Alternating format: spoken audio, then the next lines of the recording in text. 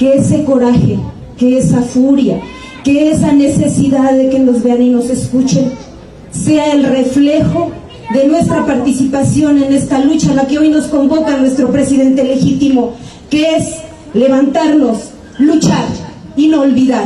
Es acordarnos que el 2 de julio es hoy, es mañana y es el 11 de noviembre. Es acordarnos, Calpulalpan, que la patria nace aquí para que florezca allá arriba. Es acordarnos, Calpulalpan, que nosotros somos lo que queremos que nuestros hijos sean. Es decirle al licenciado López Obrador que llega a un pueblo que reconoce que es nuestro presidente, que es nuestro rumbo, que es nuestro destino. Que viva el licenciado Andrés Manuel López Obrador, presidente legítimo de México. Que viva Calpulalpan. Que viva México. Que viva México. Y es un honor estar Es un honor estar con Obrador. Es un honor estar con Obrador.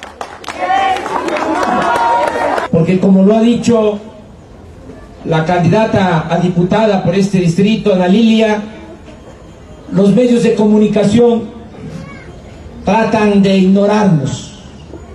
Hay un cerco informativo, un bloqueo en los medios de comunicación, no de todos, no se puede generalizar, pero sí la mayoría, que están bien apergollados al régimen.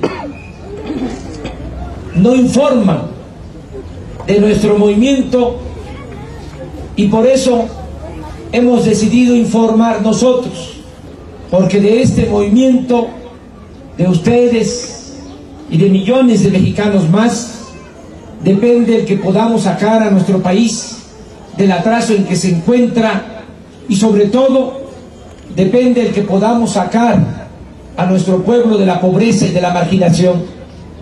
No hay otro camino. Estoy absolutamente seguro